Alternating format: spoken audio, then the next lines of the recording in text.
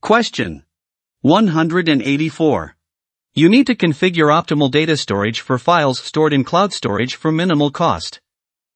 The files are used in a mission critical analytics pipeline that is used continually. The users are in Boston, Massachusetts, United States.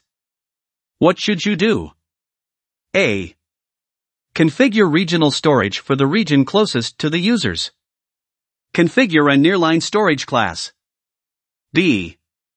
Configure regional storage for the region closest to the users. Configure a standard storage class. C. Configure dual regional storage for the dual region closest to the users.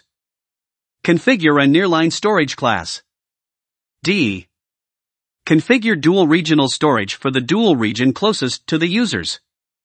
Configure a standard storage class.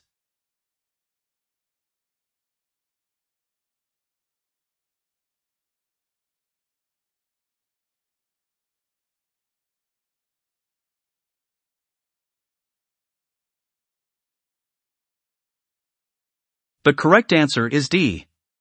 Question. This is a trick. Now think for 5 seconds for the correct answer.